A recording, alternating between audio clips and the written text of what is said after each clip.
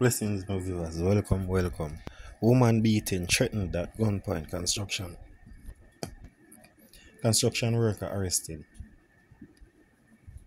The Clarendon police have charged a 20 year old Nicholas Watkinson, a construction worker of Box Common District, May Pen, Clarendon, with assault at common law, malicious destruction of property, assault occasioning bodily harm, and possession of a prohibited weapon following an incident in his home on Wednesday, September the 11th.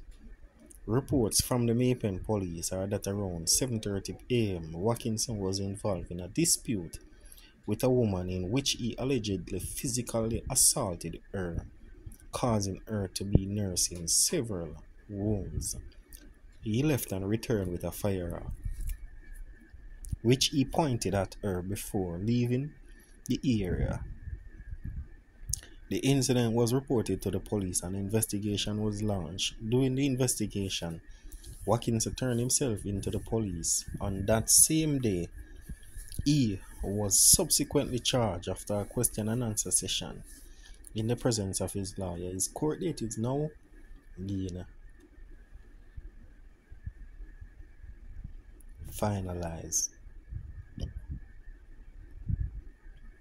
So we go over right now to Portland, where we see a 44 year old female arrested after house destroyed by fire in Portland.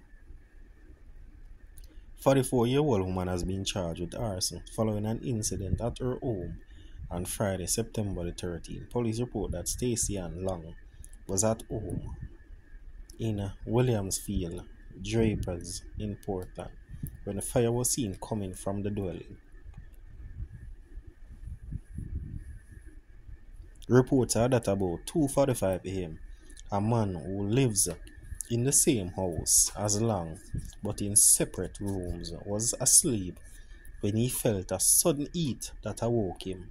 He got up and saw smoke coming from the section of the roof. He then went outside to investigate and saw Lang's room was ablaze.